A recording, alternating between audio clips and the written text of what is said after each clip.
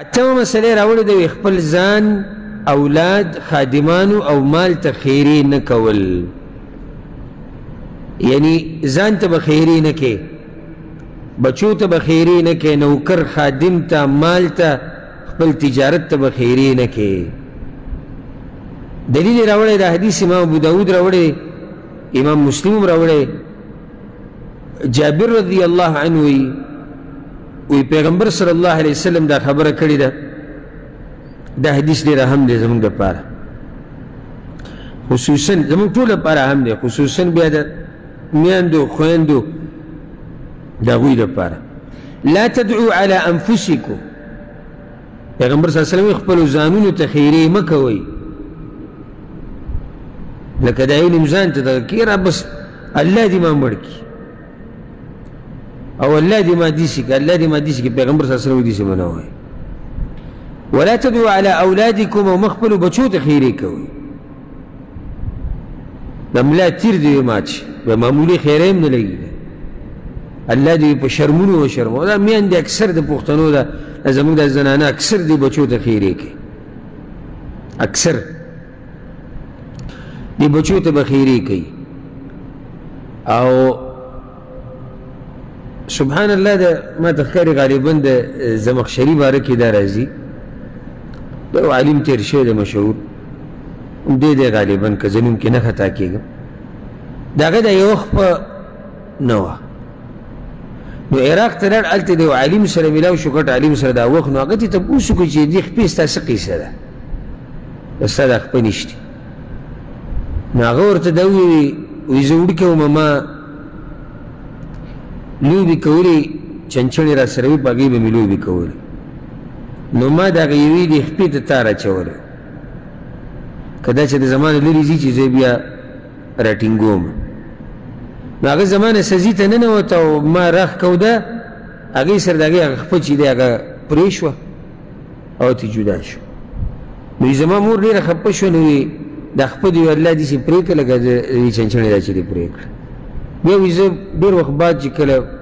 لوی شو نو زما په دې خپه باندې یو بیماري راغله نو ما ته وویل چې دا دې څو پورې پرې کړي نه دي دې بل علاج نه کېږي نو ځکه ما دا خپه پرې کړې ته زما مور یې ما ته خیرې کړې دا معمولي مه ګڼئ بچو ته خیرې کوئ پلار یا مور دوی دې چې وړه خبره ښکاري الله دې تباه او برباد کړه پاتې څه شو الله دې په شرمونو او شرمونو پاتې څه شو الله دې وي چېرته مه خوشحاله وه دا خو د ټول عمر ولا تبا کو او الله دې داسې کا الله دې او خصوصا چې بیا او چې بیا زوی واده وکړي بیا خو د مور خیرې چې کوم پکې ناپوه او اکثر دي شي زما دا خبره به غلطه نه دا بیا په معمولي معمولي خبره الله دې وي چېرته دی د دې ښځې سره خوشحاله نه کړي که نه داسې نه وایي او الله دې ده ته د بچو خوشحالي ونه ښایي او دا خیرې وکي دي دا نه مناسب کار دی زه حیران یم چې سړی څنګه هغه چاته خیرې کوي چې هغه د زړه ټوټه ده څنګه دی خولې د الفاظ راځي مور پلار خو دا وایي چې یالله په دې بچي باندې همیشه راحت او خوشحالي یاني ډېرې غوسه کړي دي الله دې ورته هدایت وکړي او که هدایت ول الله ورکو یو بس کار وشو نو بچو ته خیری کول دې من راغلی دا نارینه د پاره زنانو د پاره هیو حدیث کې د سره جی پیغمبر صلی الله علیه وسلم چې زنانه به په جهنم کې ډیری یو وجه ذکر شوی دی چې دوی خیری ډیری کوي د زنانه خیری ډیری کوي او به ما چې څومره یعنی لیدلی دي نو زمونږ د زنانه بیا درې نورو نه زیاتې دي دا پوښتنې د دې نورو نه به یو څو قدمه زیاتې دي یعنی واده کېده او اولنې بچې او د خیرو سیستم هغه سټارټ شي نو بیا چې ورو ورو د عمر یې څومره زیاتېږي نو قصه د خیرو ښه ډېرېږي نو چې بیا عمر یې زیات شي که نه بوډۍ شي بس بیا خو سره د ځمکې له لاسه هم راچوي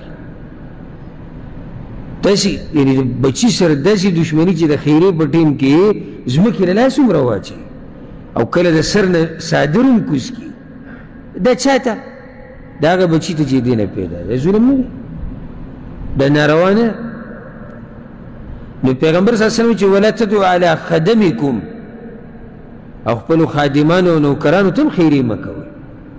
ولا تدعو على اموالکم او خپل مالونو تم خیری مکوي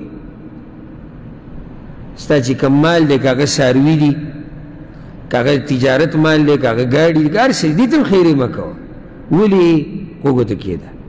لا توافقوا من الله ساعة نيل فيها عطاء فيستجيب لكم هسې نه چې ستاسو د خولې نه په داسې وخت کې بددعا وځي چې په هغه وخت کې دعا قبليږي نو ستاسو دعا به هم قبول شي اوس څه پته لګي دا ټیم د دعا د قبلېدو دی او ستا د خولې نه خیري و تا بازوی د زړه نه مې نه دي کړي دا به ګلا بله خبره راوتې ده او نه نه نه هسې بس هسې زه کوم و دا ټیم د خیرو د دعا د قبلېدو د استاد خولې نه ووته بیا به خپه یې که نه به یې خپه بیا به خپه بیا به خپه چې ولې ما دا خبره کوله ولې ما دا الفاظ وی دی بچی ته دی ملګری ته ولې ما دا خیرې خپل ځان ته وکړي ولې مې خپل تجارت ته وکړي ولې مې خپل نوکر او خادم ته وکړي نو دا اهمه مسله یاد ساتي د دعا سره تعلق ساتي چې خپل ځان ته بچو ته خادمانو ته او خپل مال ته به خیرې خیرې بنه کې